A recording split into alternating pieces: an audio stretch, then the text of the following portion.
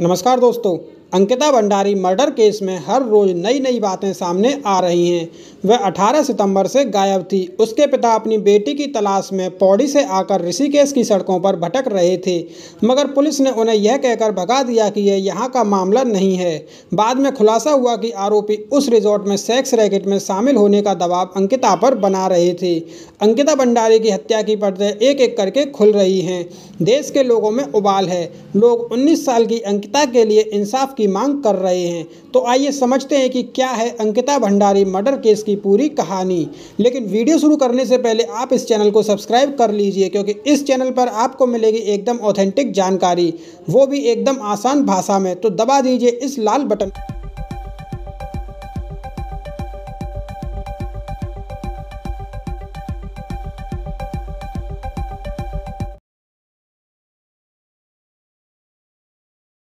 Button को। अंकिता भंडारी 18 सितंबर से गायब थी। अंकिता के पिता अपनी बेटी की तलाश में पौड़ी से आकर ऋषिकेश की सड़कों पर भटक रहे थे, मगर पुलिस ने उन्हें यह कहकर भगा दिया कि यह यहाँ का मामला नहीं है। इसलिए वे पटवारी और पुलिस चौकी के चक्कर लगाते रहे।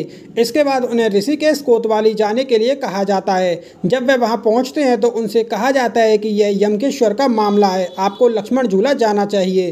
अंकिता के गुमशुदगी का मामला लक्ष्मण झूला थाने ट्रांसफ़र किया गया। इसके बाद पुलिस ने जाँच शुरू की।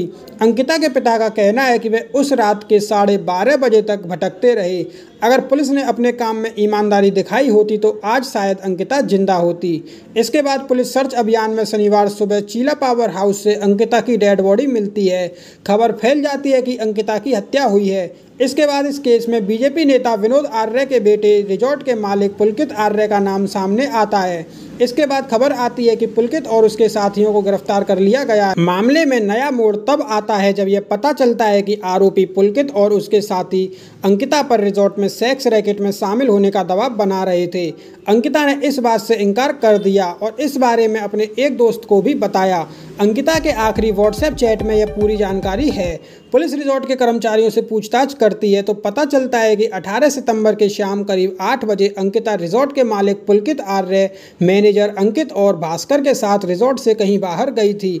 इसके बाद करीब साढ़े दस बजे ये तीनों तो रिजॉर्ट में लौटे, मगर अंकिता नज़र नहीं आई।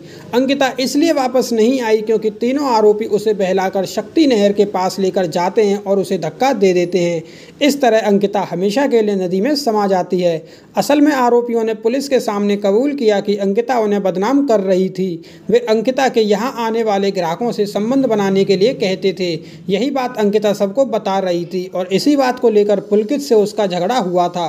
घटना वाले दिन अलग अलग गाड़ियों से वो चारों चीला बैराज के पास गए, जहाँ उन्होंने शराब पी और फिर नहर किनारे आकर रुक गए। बीजेपी नेता ने अगर अपने बेटे को समय रहते सबक सिखा दिया होता तो आज यह नौबत नहीं आती।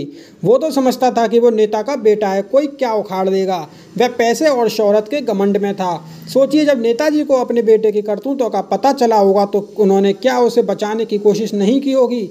एक तरफ़ अंकिता के पिता हैं और दूसरी तरफ़ पुलकित के पिता। मगर दोनों की स्थिति में काफ़ी अंतर है। माता पिता को अपने बेटों को बचपन से ही लड़कियों का सम्मान करना सिखाना चाहिए, वरना लड़कियों के साथ अपराध और हत्या का ट्रेंड बन जाएगा। मैं तो यही कहूँगा कि अपराधी चाहे नेता का बेटा हो या मजदूर का, उसे सज़ा ज़रूर मिलनी चाहिए। आपके इस बारे में क्या विचार हैं कमेंट में हमें ज़रूर बताइएगा। इन्फॉर्मेशन अच्छी लगे तो वीडियो को लाइक और चैनल को सब्सक्राइब कीजिए।